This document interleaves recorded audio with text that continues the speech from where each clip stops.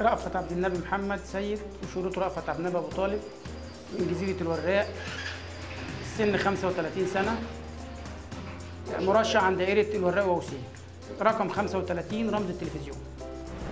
ابنكم باسم سعيد أحمد سيد ابو رواس سلمان مرشح في مجلس النواب عن دايره الوراق ووسيم رقم 24 رمز الفراشة. أول طلب ليا في مجلس الشعب يبقى طلب خاص بأهالي جزيرة الوراق وهو رفع الظلم والمعاناة الذي يعاني منها أهالي جزيرة الوراق بسبب قرار المحمية الطبيعية الظالم لجزيرة الوراق اللي منع عننا كل الخدمات من سنة 96 أول حاجة هجيب وزير الصحة على مستشفى الوراق في المجلس عشان خاطر المستشفى مش قادرة تشتغل وعدونا كتير بتشغيلها وده كطلب خدم.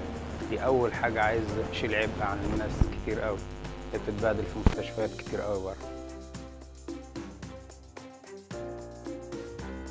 شاء رب العالمين دايرة الوراق وسيم تعتبر ريلة دائرة مختلطة ما بين الحضر والريف جميع القرى في الدائرة محرومة من الخدمات من مياه نقية من صرف صحي من مستشفيات وإن لم يكن هذا هو دور النائب ولكن نحن في المرحلة الحالية محتاجين دور نائب خدمي في الدائرة بجوار نائب تشريعي وأنا دارس القانون و- وأعرف كيف أقوم بهذا الدور مع دور الخدمي والرقابة على المحليات لأن مفيش مجالس محلية تراقب على رؤساء المدن ولا الأحياء والأحياء مهملة ولا يوجد أي أعمال ولا رقابة على الأحياء والميزانيات تصرف وتهدر في أعمال ليس لها قيمة. إحنا عندنا بقى مشاكل كتير عندنا بلدنا اللي هي جزيرة الوراق مثلا. عندنا مشكلة الصرف فيها يعني فقيرة بلد فقيرة من الخدمات. ومش هنقول بقى ميزانية ومش هنقول محدش جالها. ده جهل من المسؤولين اللي جم قبل كده وجهل من النواب اللي جم قبل كده. وكل الكلام دوت ما فيهوش أي حاجة غير إن هو تقصير من حقنا مننا في حق الجزيرة وأهل الجزيرة. والوراق عامة في صرف صحي عندك كله عايز يتغير بالكامل. بلد زي الجزيرة ديت ما فيهاش صرف أصلا عايز يدخله آه، مشكلة المية اللي عندنا دلوقتي اللي مسمعة في الوراق كلها. عايز آه، أشوف إيه موضوع. أنا رحت قدمت طلب بتحليل المياه ولحد النهاردة ما ردوش عليا. ومعايا ورقة بش- بصورة الطلب دوت. ويعني مشاكل كتير أوي. لو اتكلمنا ملموسة في أرض الواقع. عندك زبالة عندك آه، صرف عندك يعني بطالة. عندك حاجات كتير قوي لدايرتنا كخدمات على أرض الواقع ناس بتشتكي منها وبالذات موضوع الصرف في الشوارع وفي البيوت وفي الحواري ودخل البيوت.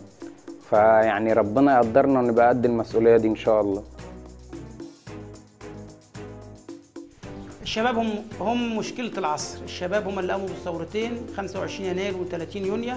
ولابد من تمكين الشباب وإن الدولة لازم تكون شابة عشان نقدر نتقدم ويبقى في حرية وديمقراطية. وعدالة اجتماعية. شاء الله بإذن الله بإذن الله. ناوي أعمل نادي بإذن الله لل- للمدينة عندنا هنا. إن شاء الله أول حاجة برضه للشباب ناوي أعمل لهم مشروع قومي يشتغل فيه شباب الوراق بالكامل. كبقى مشروعات ممكن تخدم البلد في نفس الوقت وتساعد في نسبة العمالة. يعني بفكر في موضوع آه، اللي هو موضوع إعادة تصنيع المخلفات بتاع الزبالة. ده حاجة برضو نفسي أحققها.